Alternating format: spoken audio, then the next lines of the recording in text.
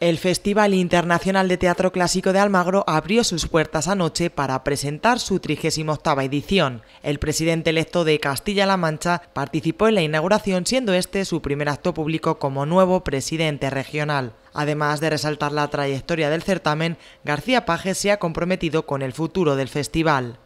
En términos, si quieren, de fondo, yo me van a tener siempre, de verdad, de corazón y convencido desde todo punto de vista apoyando la cultura en mayúsculas. Pero, y si quieren también desde el punto de vista económico, ahora que está tan, tan de moda. No creo que haya nada que aporte más valor añadido a una sociedad que la cultura. El presidente de la Diputación de Ciudad Real renovó también el compromiso que la institución provincial mantiene desde hace años con este importante evento cultural. Caballero añadió que aunque la capacidad económica es modesta, se podría plantear incrementar el apoyo.